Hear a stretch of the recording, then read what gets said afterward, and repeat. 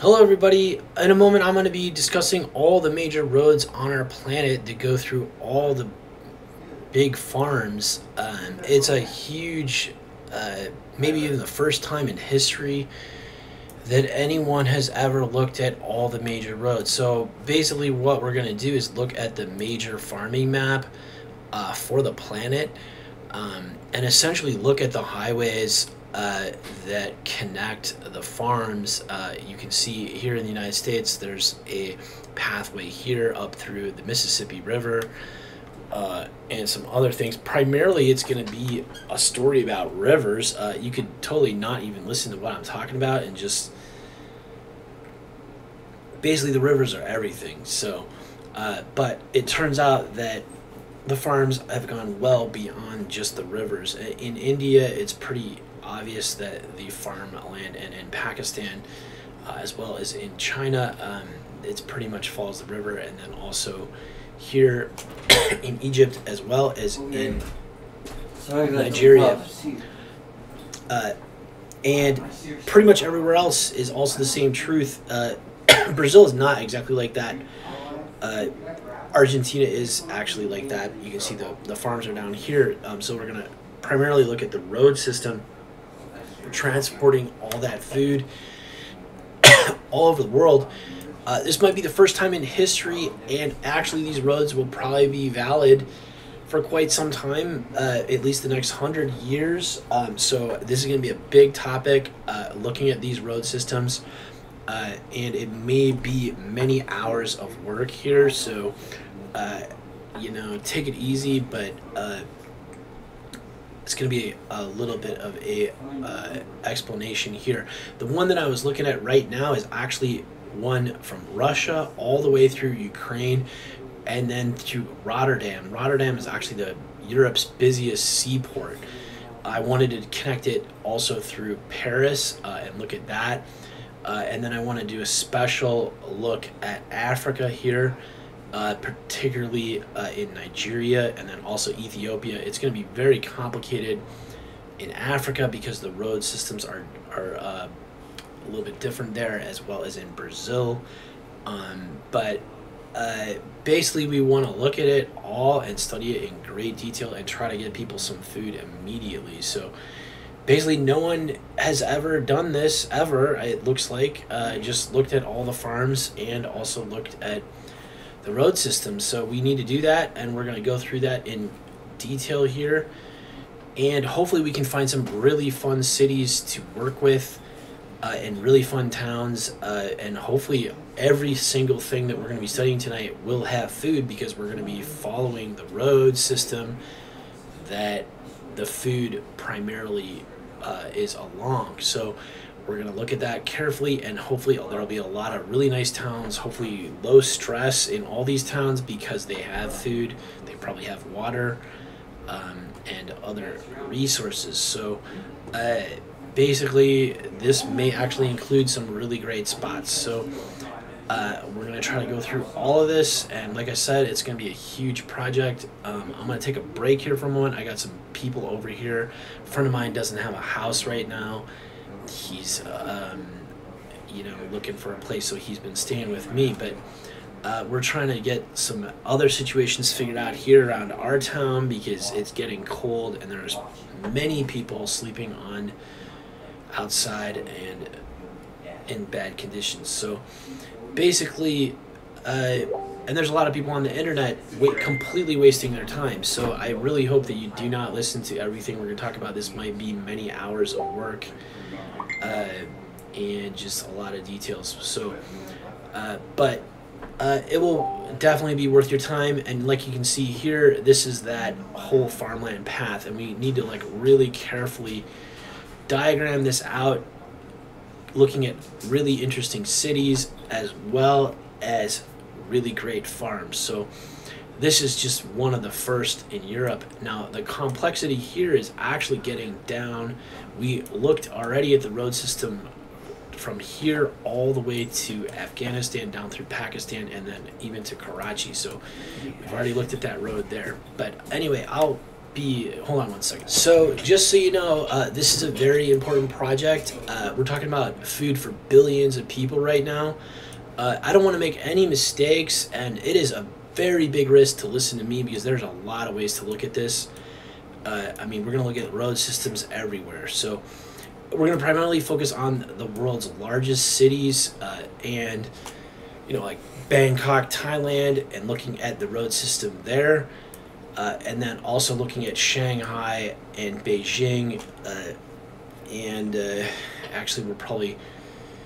Uh, and some of these things are going to be really amazing that we're going to find out here. So it's just never been done before, it seems like. So, anyway, uh, we have the opportunity to do this kind of research right now because we have access and you can have uh, the internet and different things. I hate working on this. I wish I could never even work on this project, but it's so important that no one's ever done it. And uh, hopefully, you'll find some really interesting things. So, uh, again, here is into West Africa. Uh, there's just a huge amount of farming going on right in here in East Africa, right next to the jungle, and so that's going to get really complicated because choosing the road pathways. You know, we're, we're, we're going to spend many hours in this. People spend a lifetime researching this kind of stuff. So do not, uh, you know, whatever you want to study on this could be very valuable as well. Uh, here is the map of Rotterdam. I was just zooming out to look at the uh, this is the climate map, so you can see it gets very cold uh, as you get out here. So actually, we do have farming all the way out to here, and that's what we saw. And we may need to run the road a little bit south along this line, uh, as opposed to north. Uh, Moscow is north here, and then Ukraine is down in the south side here. So there may be. It's just really difficult to get this road right because there's a lot of towns uh, and details. So, but th- this this basically shows Europe here, and then you can see in Africa it's going to be a totally different road system because we got we kind of want to avoid discussing roads through the actual jungle, and we're going to look at the roads that look a little bit more reasonable in terms of not protecting the uh, avoiding wildlife right so the road system obviously there's going to be a, there's a lot of people located here but we want to kind of look at the road system over to Accra as opposed to going right into Lagos, Nigeria, because Accra is probably the right place there. So as opposed to just putting lots of people in the jungle. So here it gets very complicated because you got Uganda basically right in a very major jungly area, and this road system may come out through here and then go through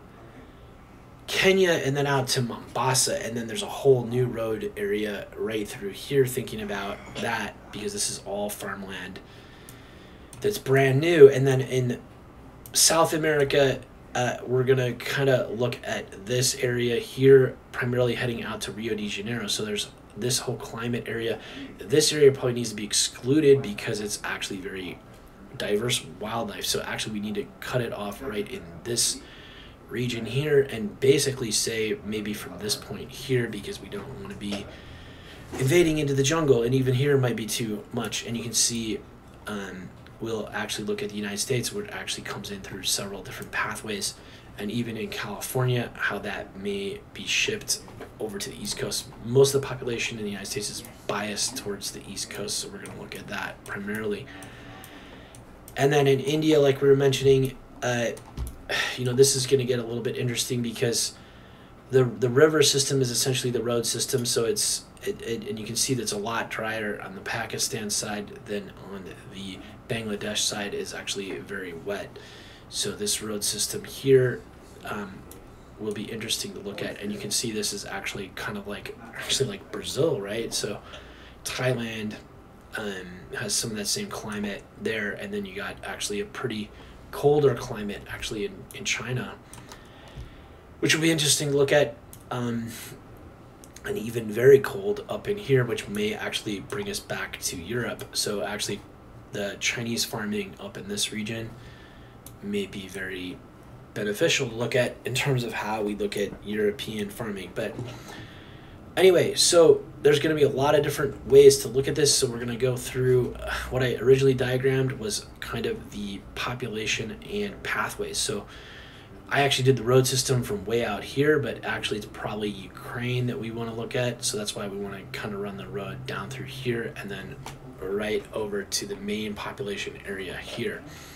Um, and it's interesting because Pakistan and India are kind of like this island where there's all this farming going on, and then it hits the desert right away here. So there's just nothing really on that side. So that's a really interesting question because this is a, maybe a topic that we need to look at is how these farms are connected, and we already looked at that the other day in terms of Lake Baikal. We went up through the road system up through Pakistan and around. Um, so it kind of did discuss some of that. We didn't really look at North Africa, but that's that's a really important topic. So because debating whether it should go by boat or even by airplane, and and uh,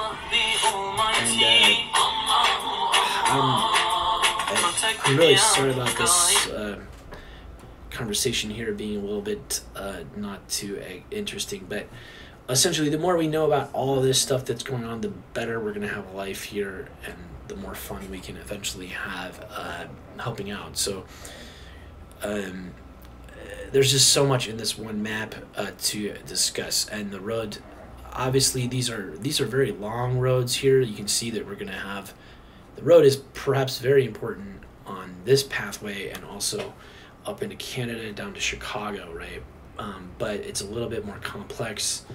It's extremely complicated in Southeast Asia, as you can see, because it's all islands.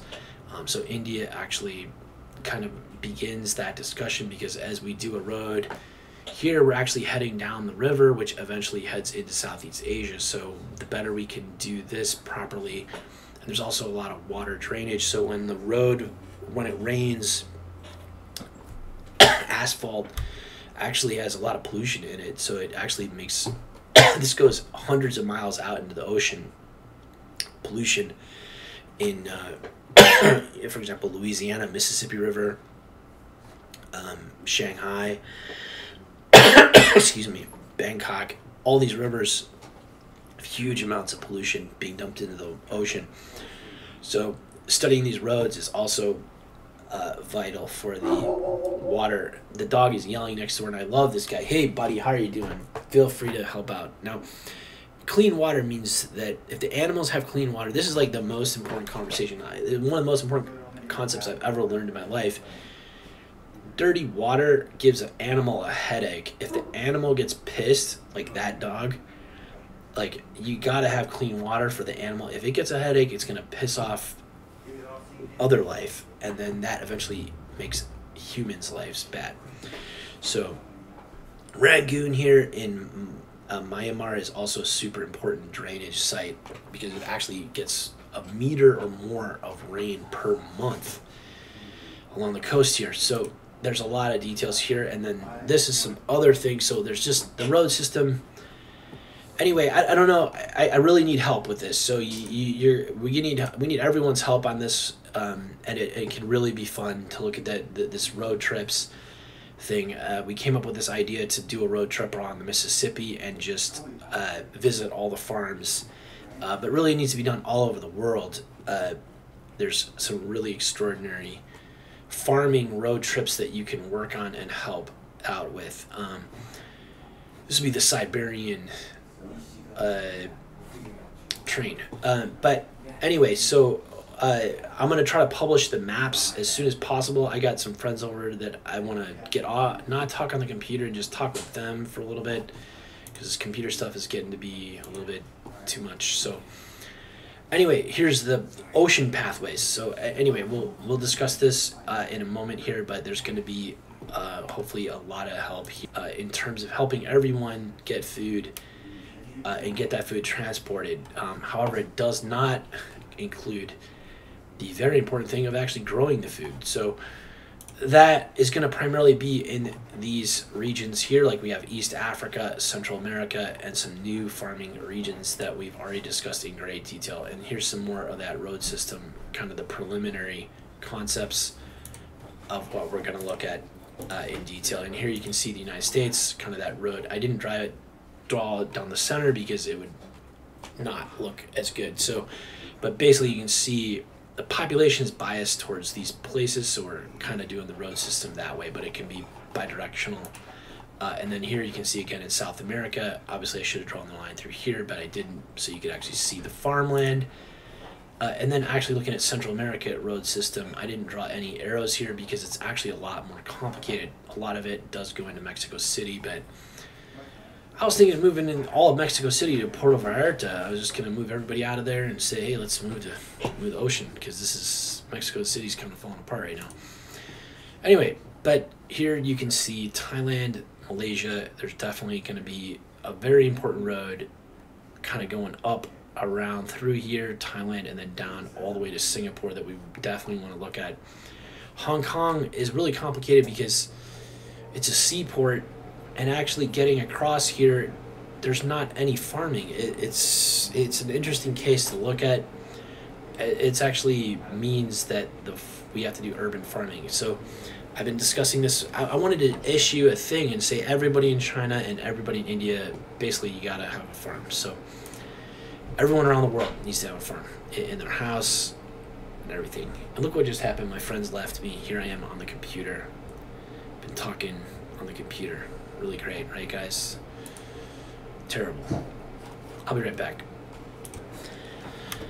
So I may have to pause this and just take a walk and talk to the earth because this is a huge project. Like I said, uh, we're talking about billions of people. We don't want to make any mistakes here, not even for one person's life.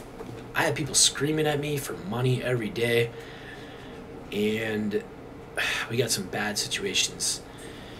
When you're talking about billions of people and when you're talking about uh, saving the lives of hundreds of millions of people for the next hundred years or thousand years. Hey man, if I make a mistake, that's a pretty serious thing. I maybe should just shut up and let everyone do the homework. Um, but uh, and that's what I'm gonna try to do. I'm gonna try to just end this conversation really quick here, and maybe I'll come back to it later tonight because it's such a huge project. I mean, this is a life. It's been going on for thousands. This is after many, many thousands of years. This is the map these are the maps that we have. And we can't make any mistakes but uh, anyway so uh, particularly important again in this conversation although it's easy to define the road system for united states and europe and also india is fairly easy and china is fairly easy to understand the road system actually central uh, central america latin america and africa really are very important um, as well as minimizing, I would say, being really cautious about what we're doing here in Southeast Asia. So that, that road trip between Thailand and down to Singapore is going to be super, super important to look at carefully because if we can focus on making that good, then people are going to say, well, I don't have to go pollute some island. I can live along the coast in Thailand. And there's some unbelievable places in Thailand um, as well as Vietnam. So, anyway, I'll be back in a little bit. I'm probably going to close this off. Um, thanks so much.